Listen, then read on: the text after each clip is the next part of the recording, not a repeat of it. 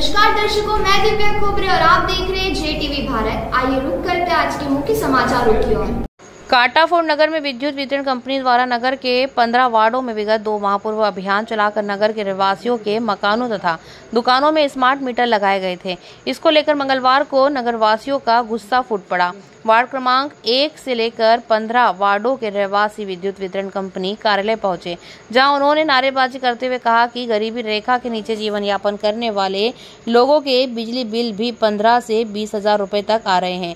ऐसे में मजदूरी करने वाला व्यक्ति बिजली का बिल भरेगा या अपना परिवार का भरण पोषण करेगा।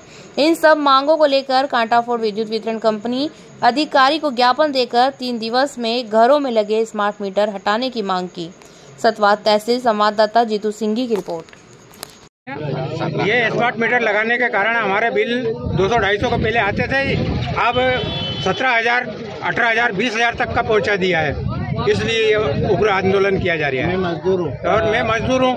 क्या कमाने वाला मेरा कोई नहीं है ना लड़का है ना कुछ नहीं। इसके बावजूद मतलब इतना दो लाइट जलते हैं तो इतना बिल देते हैं। क्या? कहाँ से भरूँगा कहाँ से भर पाएँगे काटाफोड़ ऐसा गाँव है जहाँ पर कि एमपीबी द्वारा पूरे गाँव का स्मार्ट मीटर लगाया गया है। और इस स्मार्ट मीटर में जहाँ पहले बिल हमारे मजदूर वर्ग का किसान वर्ग का 200 से 300 रुपए आ रहा था वह बिजली का बिल अब तीन हज़ार कम से कम तीन हज़ार और अधिक से अधिक पंद्रह हज़ार का आ रहा है।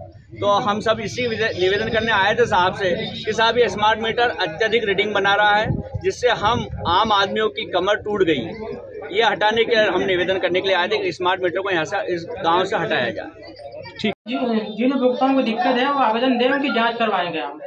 कोई मीटर तेज चला उसकी जाँच करवा सकते हैं। पूरे नगर में 90 परसेंट लोगों के गरीब लोगों के बिल हज़ारों रुपए के ज़्यादा आ रहे हैं। इसमें उनका आक्रोश है। जो उपभोक्ता द्वारा खपत की जा रही खपत के आधार पर ही रीडिंग का बिल जारी हो रहा है तो इन मीटरों को आप हटाएँगे कि नहीं?